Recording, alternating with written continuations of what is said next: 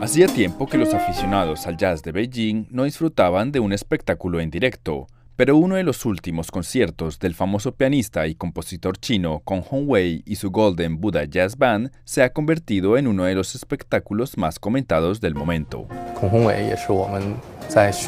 Tenemos un par de opciones y creemos que Kong Hongwei es la más adecuada, porque no solo es un prestigioso músico de jazz, sino también un magnífico intérprete de la cultura y la música chinas.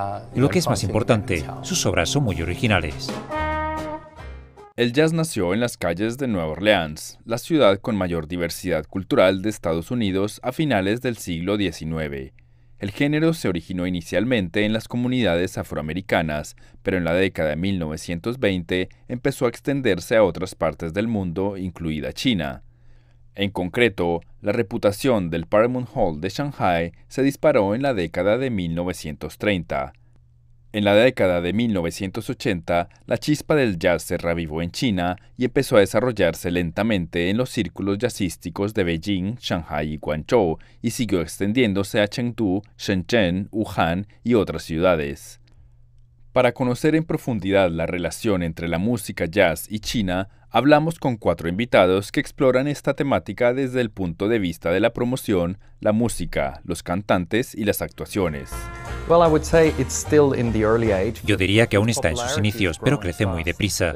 En las últimas tres décadas el jazz se ha hecho bastante popular. Hay varios festivales de éxito por toda China. Creo que se pueden encontrar bares de jazz en las principales ciudades del país.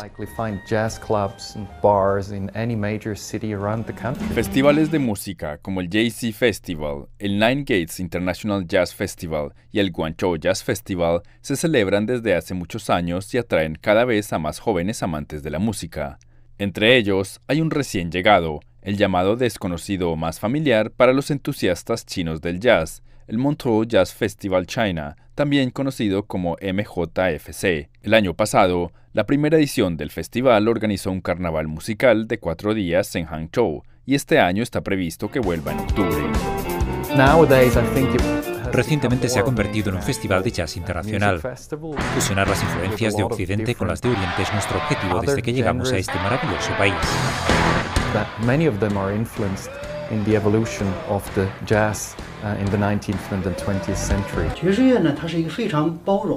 La música jazz es un género de música inclusivo que va desde lo clásico hasta el folk y otros estilos.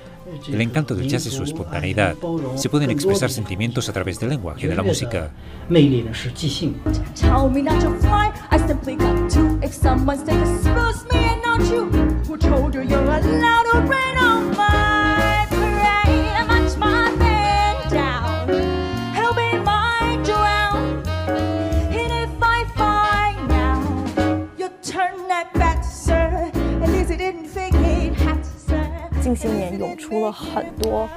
En los últimos años han surgido varias bandas de jazz con estilos diversos como el estilo latino, la bossa nova, el standard, swing o jazz contemporáneo.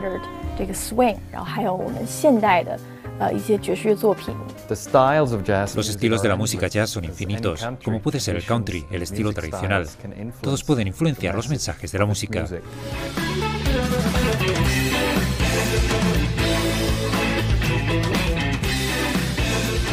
La música es un puente. Las comunicaciones musicales entre China y el resto del mundo se han llevado a cabo todo el tiempo. La gente puede ver a Chick Corea, Pat Metheny y otras leyendas del jazz en China. En los últimos años, las opciones profesionales de los músicos de jazz chinos con formación en el extranjero han desarrollado una nueva tendencia. Algunos músicos de jazz que estudian en el extranjero tienden a regresar a China para desarrollar sus carreras. Aunque estudien en otros países, saben que China es su raíz. La música en sí es un puente que conecta ambas partes. Cuando estudian en el extranjero, siguen siendo músicos chinos y traerán de vuelta lo que han aprendido.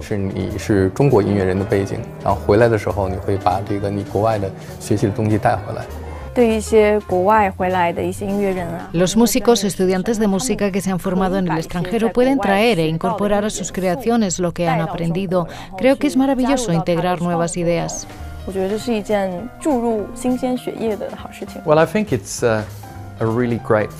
Es muy bueno. Hay un dicho, los artistas solo pueden crear algo bueno cuando vuelven a sus raíces.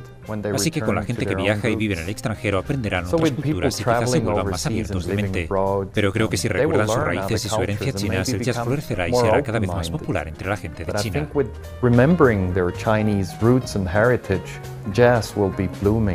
Con esta filosofía en mente, el futuro del jazz chino parece tener muchas posibilidades. CGTN en español.